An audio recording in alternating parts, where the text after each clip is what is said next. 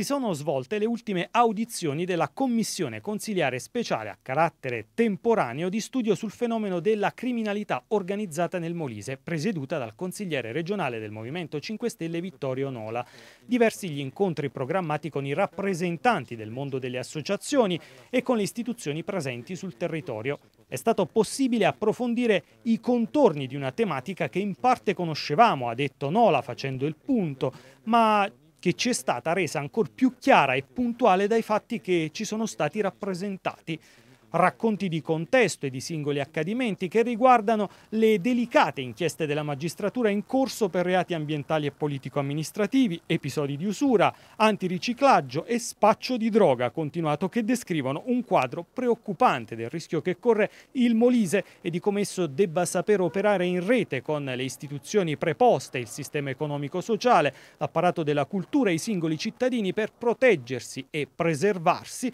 consentendo ai tanti punti punti di forza dei vari territori di sviluppare l'intera regione e con essa i suoi cittadini in uno spirito di comportamenti etici e di legalità. Nola ha evidenziato ancora come la commissione di studio molisana tramite lui ha potuto fornire il proprio contributo al coordinamento nazionale delle commissioni e osservatori sul contrasto alla criminalità organizzata e la promozione della legalità.